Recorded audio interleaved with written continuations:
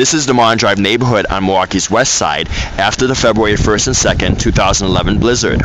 Neighbors have been helping each other all day, sharing their snowblowers, helping with sidewalks, and helping with driveways. This is 43rd Street. Thank you everyone for helping out.